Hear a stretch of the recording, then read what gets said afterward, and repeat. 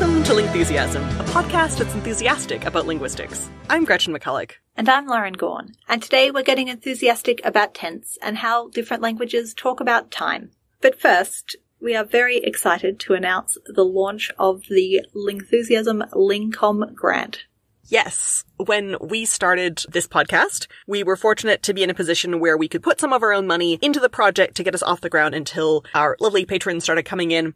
Now we're in a position where we want to pay it forward and we want to help the next generation of awesome pop linguistics projects find their feet. We're giving out a 500 US dollar grant to a project that helps communicate linguistics to a new audience. And with your help, if we reach 800 patrons by May 1st, we can give out three of these grants. Uh, so we're really looking forward to seeing the applications come in. Uh, applications are due June 1st, and you can see more details about the Lingcom grant and how to apply on our website. We'll link to it from the show notes, and it's lingcom.org, two M's in com we know that some of you may be really passionate about the idea of there being more linguistics communication projects uh, out in the world but don't have the time or the expertise. And so if you really want to help support us in the Lingcom grants, we've created a new tier at the Patreon called Philanthropist. And for every person who supports us at $50 or more at that level, we'll drop the number of patrons that we need to meet the three grant goal down by 10. So you will be as effective as 10 other patrons don't feel like uh, you need to do this, but if you're somebody who, who has a has a real job uh, and this isn't a lot of money to you, then this is an interesting thing to do with it. And we'll also send you a Lingthusiast mug after three months of this tier, so you can share your your Lingthusiasm that way. And of course, patrons at any level will help us meet the 800 patron goal to give out three grants. If you're also excited about showing off that you're a Lingthusiast, we also have a new uh, sticker that says Lingthusiast, a person that's enthusiastic about linguistics, which we've added to the $15 level of the Patreon. So go check out the Patreon. Uh, we have new stuff there. Speaking of new stuff at the Patreon, we now have a Discord server for all our Lingthusiast and above tiers, uh, which is the first Discord server I've ever been on. So I'm learning a lot. It's been really fun to see people join so quickly because there are actually a lot of people who are already joined uh, and are chatting about things like interesting linguistics links that you come across, uh, conlanging, learning languages, uh, linguistics memes. Uh, we even have a channel where you can talk to each other in the International Phonetic Alphabet, uh, which is a fun challenge, uh, and other interesting linguistics things that you come across uh, around the internet. So lots of different channels, all very enthusiastic, typing, chat. I feel like definitely has a like old days of the internet user group vibe that makes me really happy. It's been really fun to start hanging out there, and I think people are really enjoying that. So join us in the Discord. Our current bonus for patrons is bonus content from our interview with Janelle Shane, in which we walk through creating a Lingthusiasm bot that generates Lingthusiasm transcripts. And we walked through that in detail and then we read some of our favorites. So if you would like to hear what Lingthusiasm would sound like if it were written by a neural net who is very enthusiastic but doesn't really know that much about actual linguistics, but finds some keywords sometimes, uh, you can check that out and definitely stay tuned for the part towards the end, uh, where we prompt the neural net with both Lingthusiasm and Harry Potter fanfiction, and you get the most magical Lingthusiasm episode ever. this and 35 other bonus episodes at patreon.com slash Lingthusiasm.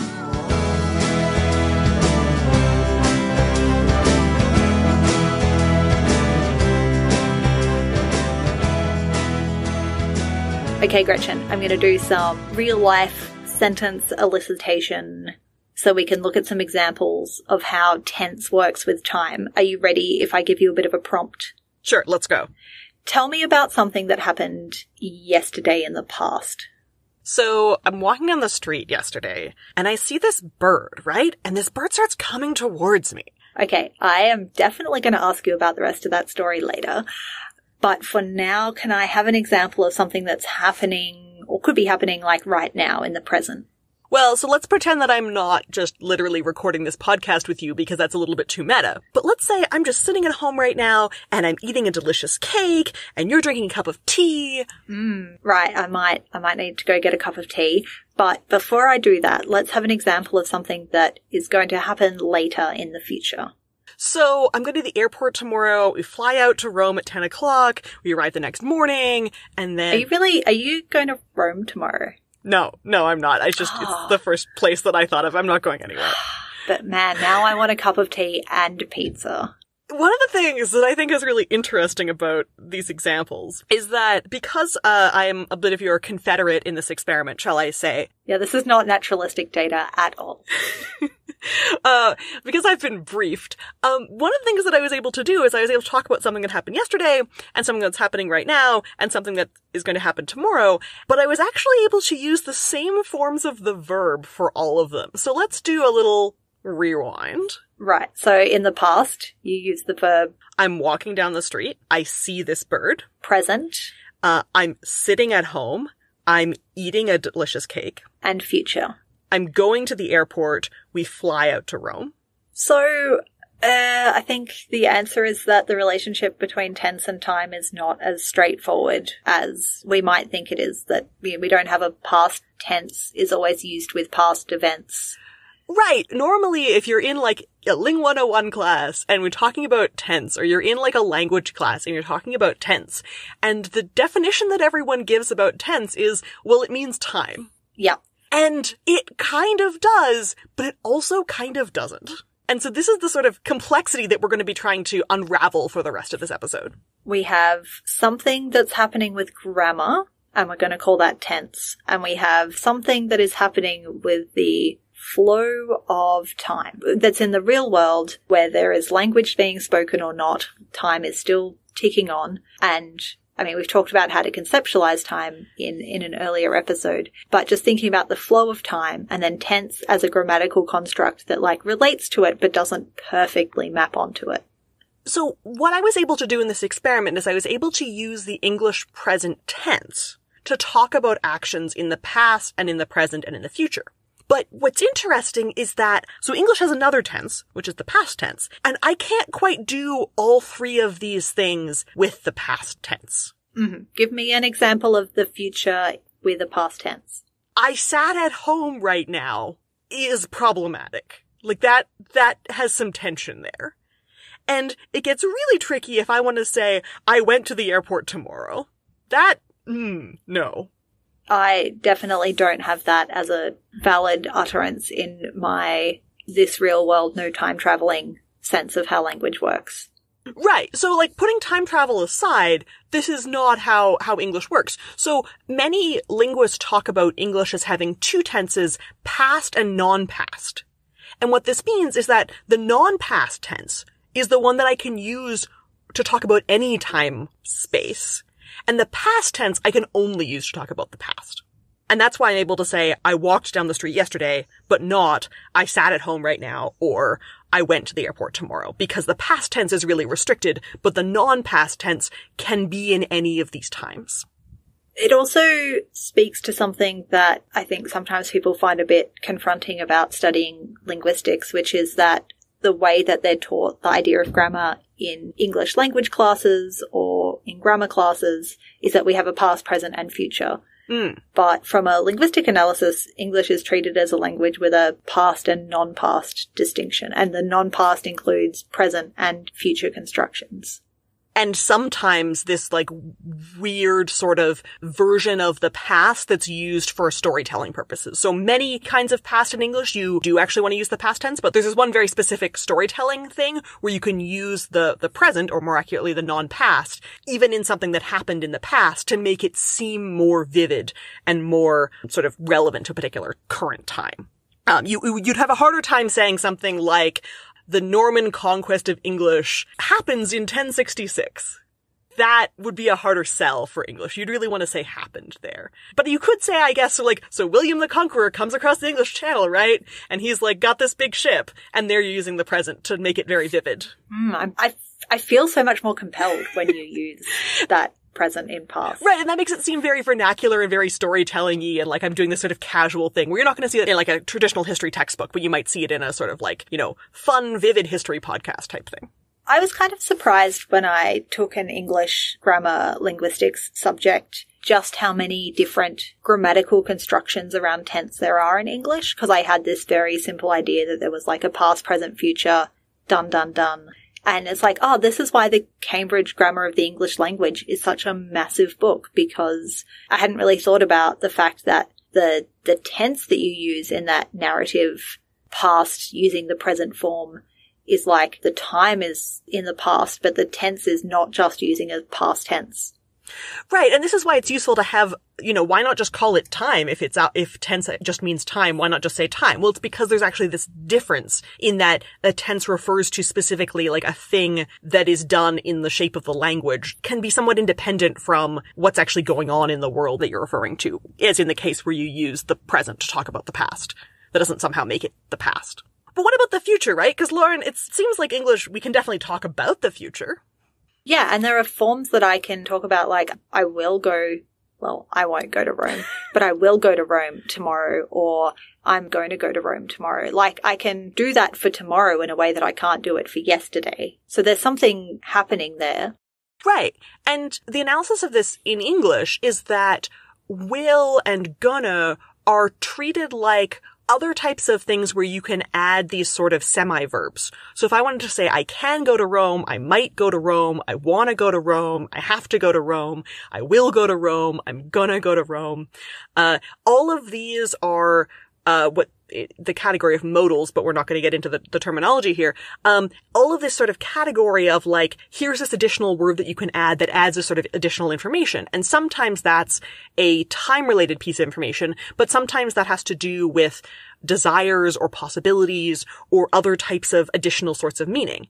And that's not how English talks about tense. English tense generally is something that's part of the, the verb itself, whereas this is this additional word that gets added. It's less obligatory in the future because it's it's a lot more legit to say, I fly to Rome tomorrow and I will fly to Rome tomorrow and I'm gonna fly to Rome tomorrow. All of these are pretty good, you know? Whereas this case of I'm walking down the street yesterday is really this very one limited context with I fly to Rome tomorrow. There's a lot more places where you can use that and you don't have to do this thing with will. You have these other options like gonna or just using the the non-past form of the verb.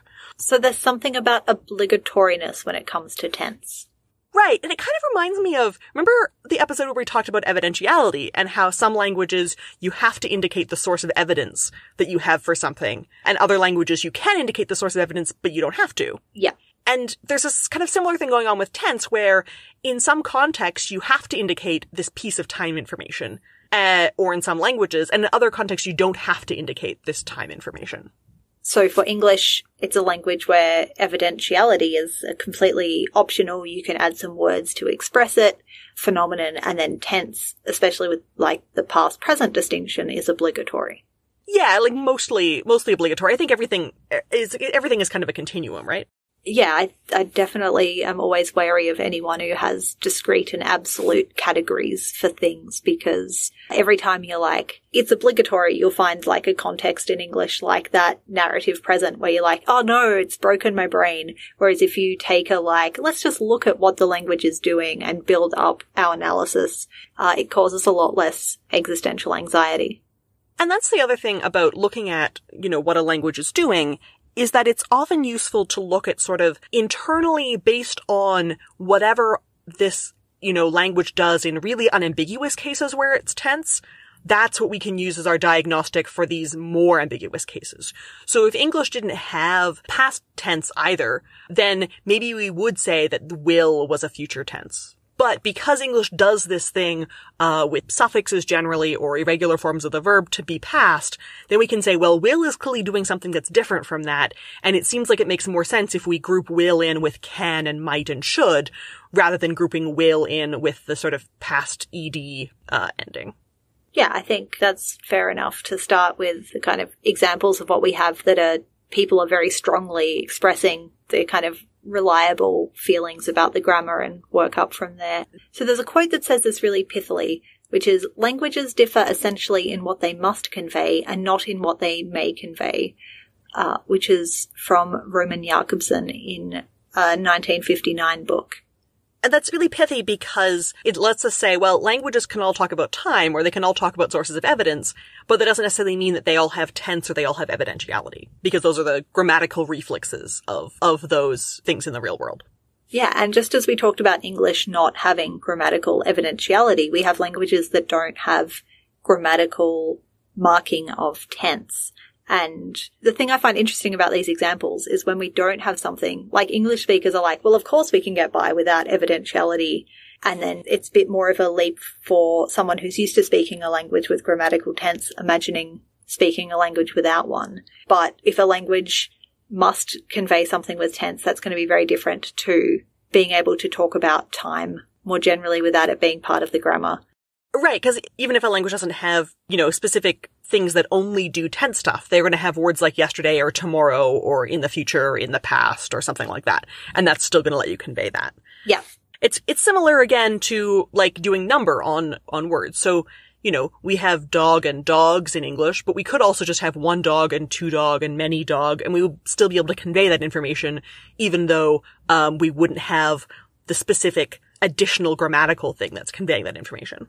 And so languages like Vietnamese and Thai and Mandarin and Burmese all don't have these grammatically obligatory markers. People will, if they need to in context, use words in much the same way in English we talk about, you know, tomorrow or later or whatever, but they don't have that same obligatory verb marking. I think that there's a, a sort of like Latin based prejudice that uh, a lot of, the especially kind of European tradition of approaching language has, which is like, well, if it's not a prefix or a suffix, it's not grammar. And that's not what we're saying, because you could have a, a short little word, like uh, Mandarin, for example, has a, has a question particle that you just put in sentences to make them a question. And that's a grammatical feature. English doesn't have a obligatory extra word to add to questions just to make them questions. But that's a case where you do have something that's obligatorily grammatical. So it's not saying that there aren't other obligatory grammatical features that you can do, even if your language is a bunch of short words rather than fewer longer words.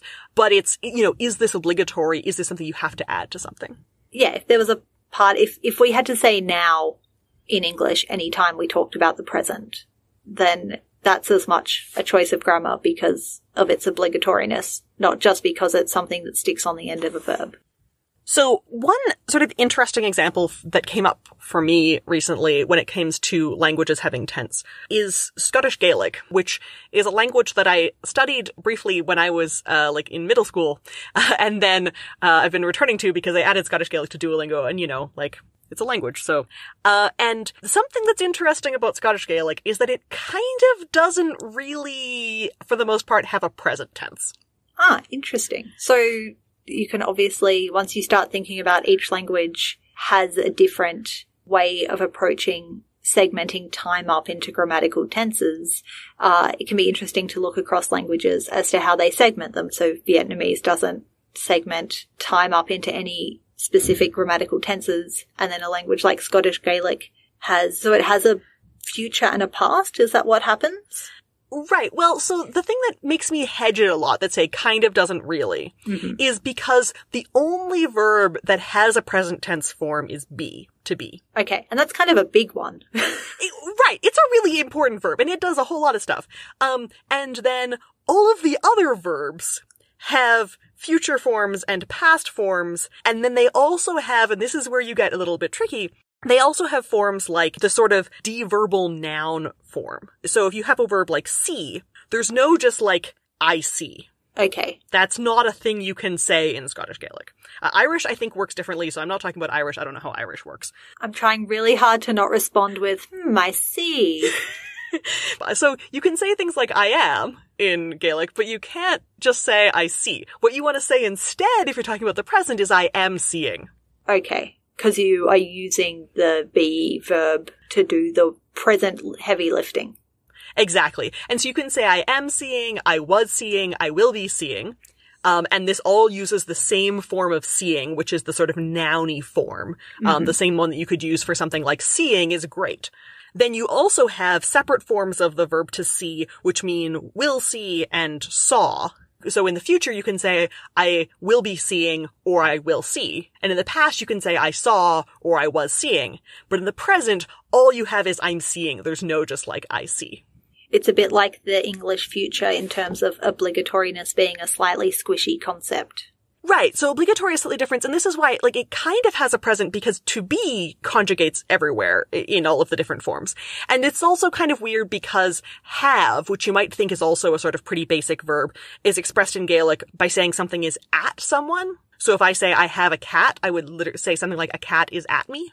And that's how I say have. So again, you can just use be hmm. to convey have because, you know, it's got this sort of idiomatic construction. And this was something that confused me when I was first learning Gaelic in middle school because they only taught us the verb to be. Right. And they taught it to us in a whole bunch of tenses and stuff, and they taught us these forms, you know, like will be seeing and was seeing and am, am seeing, all with the same one form. And I was like, guys, I just, aren't you going to teach us any other verbs at some point rather than just this one, you know, like seeing form. Uh, like, surely there are more verbs in this language. So you were going into it with your English speaker category expectations. Right. And on the one hand, being an English speaker kind of gave me an advantage because English also kind of does this in a lot of contexts, right? Like English often says something like, I am seeing or I am eating or I am walking down the street rather than I walk down the street or I eat or I see. English actually does this more than a lot of European languages. Uh, some people have proposed that English does this thing because of influence from Scottish Gaelic and this link has not been proven, so it is probably not actually true. It would be a fun hypothesis if it was true, but it's not. But like English does do something similar, just not quite as robustly. And uh, yeah, it was really confusing to me because I was coming from having learned, you know, French, where I was given all of these verb forms, and then they were trying to keep it easy for the Gaelic learners and just give us the kind of minimum stuff that you need because you really can get very far with only to be. So we've seen some languages with a couple of tense distinctions, like English or Scots Gaelic, um, we've seen languages with no tense distinctions. And if we go the other way, we can look at languages that have multiple tense distinctions beyond what we see in languages like English. And they segment that passage of time up into much smaller categories. Yes, I love more tenses. Yeah, once you see this, you're like, we are really underperforming in the tense category department. It's always, it's always really exciting to see something you don't have. And You're like, ooh. The examples I've always heard of have come from the area of Papua New Guinea, which just has like wonderful levels of language diversity. Pa- Papua New Guinea has like a sixth of the languages in the world, right? Yeah. like a thousand languages. Like islands and mountains all do great things for linguistic diversity. The Tifal is a language of Papua New Guinea in the Ok family, and it has uh, at least six tense distinctions. So there is a present tense. Then there is a yesterday past, a distant past and a very remote past. And then going the other way, there is a near future and a distant future. Ooh, very nice. I like it. And these are all distinct suffixes that are added to the verb to indicate the time relative to now of something that you're talking about. And, you know, again, it's one of those things where there are ways of saying this in English, but they're not as obligatory or as like directly encoded in some sort of obligatory thing. You know, because you can always say like a long, long time ago in a galaxy far, far away, uh, or you know, sometimes people make this distinction between will and gonna. But, you know, you don't have this sort of robust way of distinguishing between these different, you know, remote past and, and just simple past. Or if I talk about when I was in school, I'm probably using the distant past rather than the yesterday past you know, context does a lot of heavy lifting and we often don't give it enough credit when it comes to things like marking time. Well, yeah, and because you might, in some context, talk about when I was in school as the recent past because you're contrasting that with something that happened a thousand years ago. And then in other contexts, you might talk about it as the remote past if you're talking with somebody who graduated last year. And, you know, a, a, language may have particular grammatical categories, but sometimes when you look at how they're used, there are particular conventions. So I don't know specifically for Tifal, but it may be that the very remote past is only used for like origins and legends and myths and those kind of things. And they're not for like the, the time that humanity has been living like they are now. So, uh, there's kind of multiple things happening here. There's the, the tense marking, it's how it fits with actual time, and then there are also genre conventions, uh, like we talked about with the English narrative past that uses the present. Right. But again, like even if you have a language where there's, you know, a tense that indicates this sort of, you know, myth and legend type past, uh, it's kind of like how, you know, in English you use once upon a time to signal that something's a fairy tale. But you can also use once upon a time to signal that you're talking about something as if it's a fairy tale when you say, you know, once upon a time, these two linguists got together and started a podcast. and this doesn't mean that, like, it's a myth, but it's, we're talking about, like, Lingthusiasm's origin story as if it were a myth, using the sort of myth frame. Even though, Yes. uh, very clearly this happened in, like, a fathomable past where we were actually there and it's not like Cinderella where it's a, you know, fairy tale story. Yeah, so context and genre are really important when we're thinking about how language is as used as well as the kind of abstracted structure of it. Yeah, and I think it's neat to, uh, you know, emphasize how these different types of tenses can be subverted so that, like, there's a sort of canonical use and then there's a sort of playful use where you can put something as if it's in that space as well. So we talk about tense as, like, it's time, but it's not always strictly speaking time. Another thing that comes up a lot when you talk about tense is other kinds of relationships that people can have to time. So sometimes you talk about something as being an ongoing thing, or you talk about something as happening at one discrete point, or you talk about certain attitudes that you have towards whether something is happening or not. And those are generally lumped into different categories like mood and aspect, which can relate to tense but aren't exactly the same thing as tense. So I think we have to save those for another episode. We've already talked about evidentiality, which is often lumped into those categories. We're talking about tense now. We still got aspect and modality to look forward to. Yeah, so stay tuned for more things about how we think about time, but this one is just about where it is with respect to the sort of personal timeline. Once you start looking at the kind of variation and you're like, oh, I would like three past tense distinctions. Uh, another thing that would be very nifty is a grammatical tense that is specifically for the current day. Ooh, If we want to give it a, a Latinate category, the hodiernal tense from Latin for today. Uh, it's always so much fancier when you say it in Latin, for real. I know. Like, it's really fun. I always try to, like, not get too bogged down in the terminology, but then sometimes learning that there's actually a, a fancy terminological word for something is the most delightful part. Um, so you could have a hodiernal tense. Hodiernal tense is in Mwera, which is a Bantu language of Tanzania. And apparently, Gretchen, the passé composé in French in like the 17th century was possibly used as hodiernal.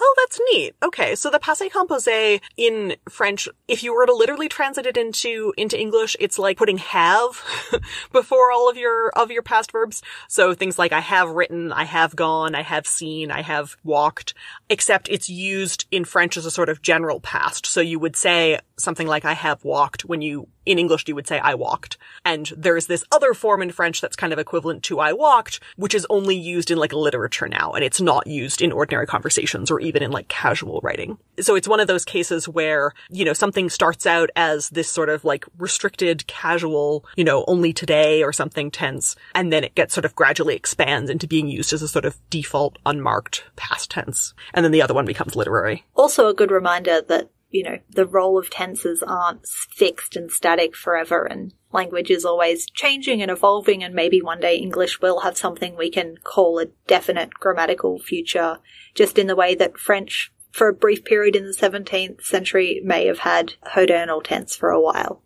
That is neat. And certain, you know, words that start out as being sort of very concrete can achieve this level of grammaticalization. And this is a thing that I really enjoy about grammaticalization because when words become used grammatically, they often also get shorter. Yet the original form, the concrete one, can't necessarily shorten the same way as the grammatical one. Uh, so here's an example. You can't say, I'm gonna the airport.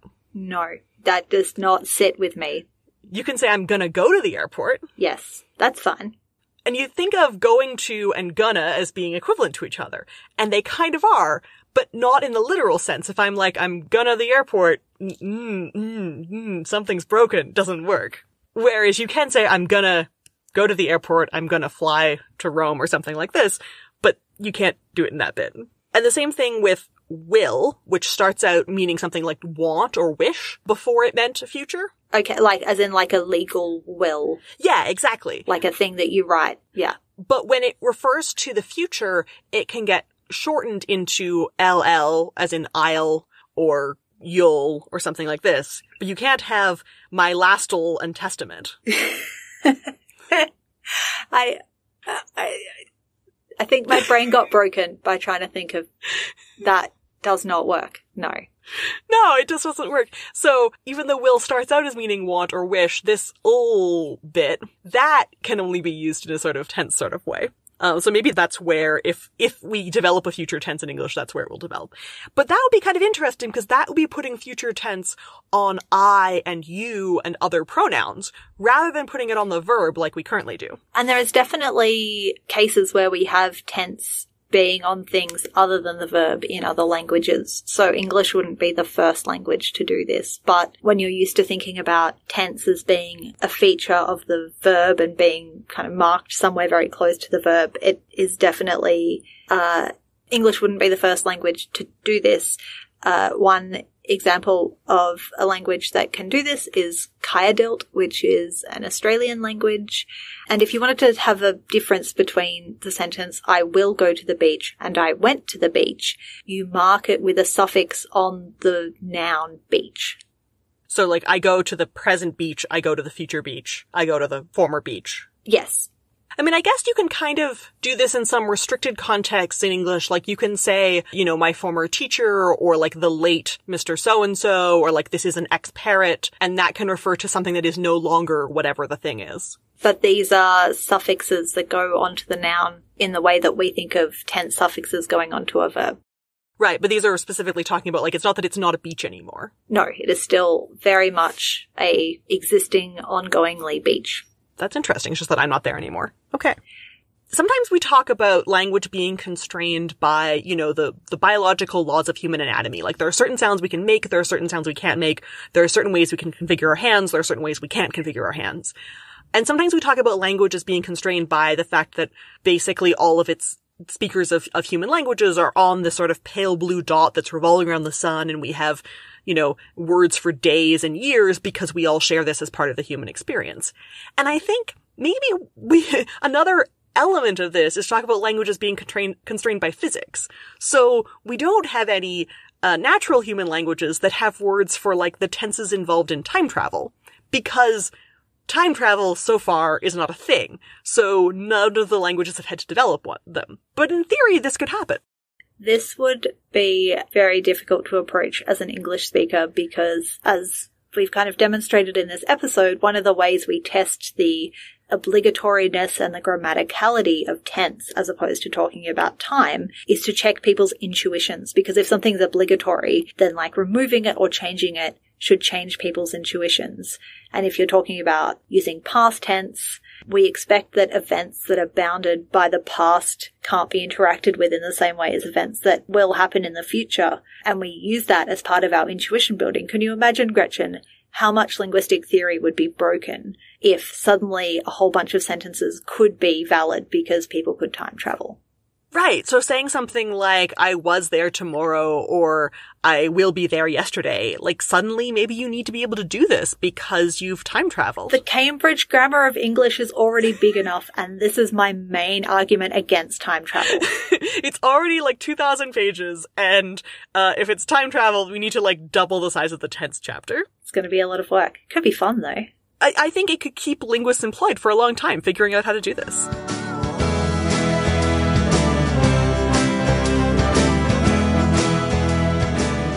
For more Lingthusiasm and links to all the things mentioned in this episode, go to lingthusiasm.com. You can listen to us on Apple Podcasts, Google Podcasts, Spotify, SoundCloud, or wherever else you get your podcasts, and you can follow at Lingthusiasm on Twitter, Facebook, Instagram, and Tumblr. You can get IPA scarves, IPA ties, and other Lingthusiasm merch at lingthusiasm.com slash merch. I tweet and blog as Superlinguo. I can be found as at Gretchen A. McC on Twitter. My blog is allthingslinguistic.com, and my book about internet language is called Because Internet. To listen to bonus episodes, join our Discord chat room, and help keep the show ad-free, go to patreon.com slash lingthusiasm or follow the links from our website. Recent bonus topics include a special neural net generated episode of Lingthusiasm, where we read out the results of the neural net, the future of English, and onomatopoeia. Can't afford to pledge? That's okay too. We also really appreciate it if you can recommend Lingthusiasm to anyone who needs a little more linguistics in their life.